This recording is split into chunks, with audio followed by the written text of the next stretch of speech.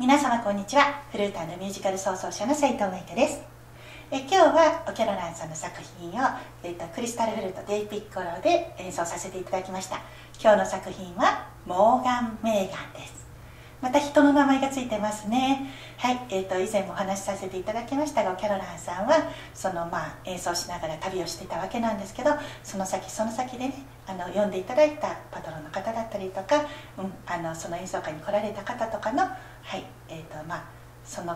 方その方のイメージに合った作品をプレゼントしてこう回っていったわけなんですね。なので本当にあの200曲以上の曲があるわけなんですけど人の名前が付いてるものが多い。なので毎回ね楽しみなんですよ。こういう曲を、えーと、プレゼントされた方ははいどんな性格なんだろうっていうのをねこう妄想を膨らますのが楽しいわけなんですよね。きっとこのモーガン・メーカーさんは明るくてね楽しい方だったんじゃないかなと思います。きっとダンスも好きだったんじゃないかなと勝手にイメージしています。どうしましょう。全然違ったら、うん、で、えっと、今日はね一番最後ねあの楽譜は本当にただ伸ばすだけなんんだけどこの以前ねあのちらっとこれある程度音出していったらまあちょっとアイリッシュ的なこうケルト音楽的な感じで装飾入れていくとクリスタルフルと合うかもしれないですねって言ってた最後だけちょっとだけね入れてます。でもこの奏法ってまたねいずれ動画にアップしていきますけどあの忍笛の時にも少しお話したね双方に似てるんですよね。だから笛のルーツってなんかうん、辿っていくとみんな同じとこに行くのかもしれないです。ちなみに今関西フルートオーケストラでも、うん、なんかいわゆる現代奏法っていうやつをやってるわけなんですよね。で私の苦手なやつがこう出てきました。えフラッターとかだったら大丈夫なんですけども、えーと、学生時代になんかコンクールの課題に出て、えーと、あの時困ったなっていうのを思い出しました。でなんかとりあえずこの間あのオケに行ってた時にこう見た時にえーと、楽譜をどうも勘違いしてて思い出しました、えーと、どういうのでやってたかっていうことは。なのでいけるんですけどもこう瞬発的にあの速さであんだけのたくさんのを入れれるかっていうとなかなか大変だなと思っています。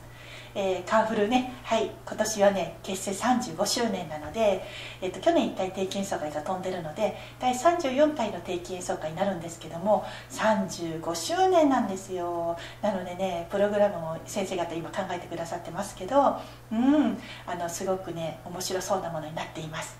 ひょっとしたら、うん、あの私の大学時代の同級生の作品がうん取り上げられるのかもしれないしそれはひょっとしたらアンコールのおとなしみになるのかもしれないし、うん、この辺はねちょっとまだ分かんないですね。この間ちょっと音出ししてみました、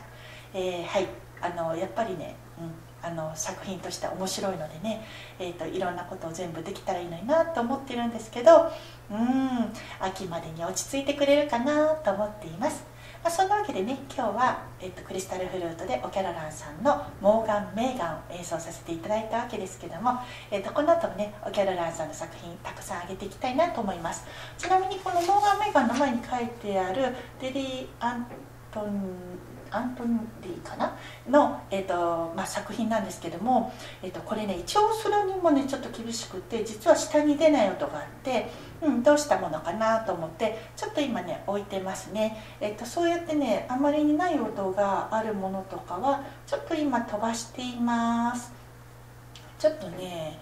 これこの電ピッコロではどないしようもないかなと思ってるんですけどそういうのがねたくさん楽譜上がってるのであのスラッシュ線が入ってるものは運指がないのでねこれについてはちょっとまたおいおいあの宿題とさせていただきたいと思います。そんなわけで今日はモーガン・メーガンでした。それでは皆様またね。